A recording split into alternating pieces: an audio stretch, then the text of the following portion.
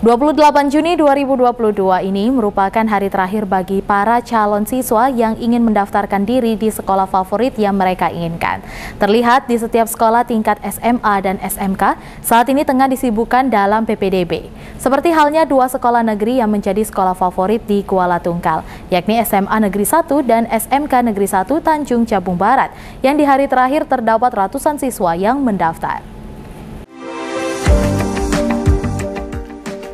Di hari terakhir PPDB SMA SMK tahun 2022-2023 ini, masih terlihat banyak calon siswa yang mendaftar ke sekolah yang mereka inginkan. Bahkan mereka rata-rata didampingi oleh orang tua untuk mendaftar di sekolah yang mereka inginkan tersebut.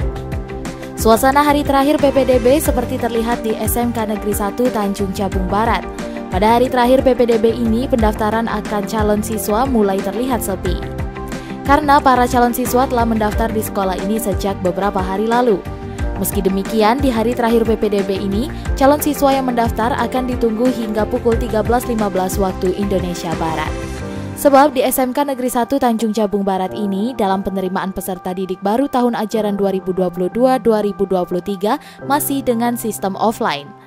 Dijelaskan oleh PLT Kepala SMK Negeri 1 Tanjung Jabung Barat Nurliah bahwa sekolah yang ia pimpin ini PPDB-nya masih menggunakan sistem offline, sehingga tak ayal terlihat antusias siswa yang mendaftar datang langsung ke sekolah tersebut. Setidaknya dari data yang dimilikinya terdapat ratusan calon siswa yang mendaftar di enam jurusan yang ada di sekolah tersebut. Dirinya memaparkan enam jurusan tersebut, yakni jurusan otomatisasi tata kelola perkantoran 84 calon siswa, akuntansi 46 calon siswa, bisnis dan pemasaran 40 calon siswa, multimedia 89 calon siswa, tata busana 21 calon siswa, tata boga 19 calon siswa dengan daya tampung siswa sebanyak 360 siswa. Uh, kemudian berdasarkan keputusan gubernur melalui Kepala Dinas Pendidikan, kita itu mempunyai daya tampung sebanyak 360 siswa yang tersebar di uh, 10 rombel, kemudian jurusannya ada 6 jurusan. Jadi seperti itu.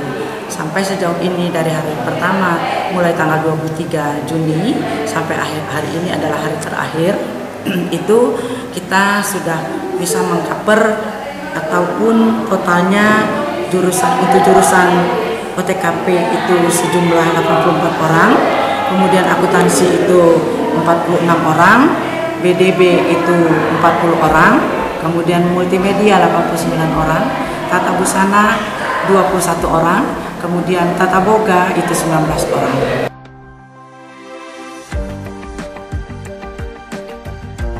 Sementara itu, Kepala SMA Negeri 1 Tanjung Jabung Barat Kadiman mengatakan bahwa sekolah yang ia pimpin PPDB dengan menggunakan sistem online, sehingga beberapa kriteria pendaftaran sesuai aturan dan Permendikbud yang berlaku. Ada sebanyak 306 daya tampung siswa baru di SMA Negeri 1 Tanjung Jabung Barat tersebut. Bahkan ia pastikan tidak ada siswa titipan di SMA 1 yang ia pimpin tersebut sebab PPDB sistem online dan transparan.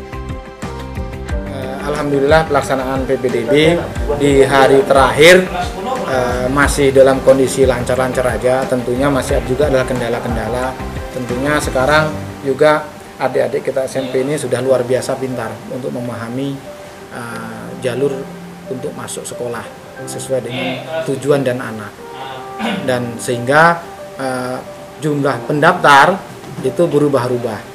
Artinya berubah-ubah setiap detik berubah mungkin ada yang pertama mendaftar dari eh, jalur yang satu untuk meminta membatalkan mau pindah ke jalur yang lainnya.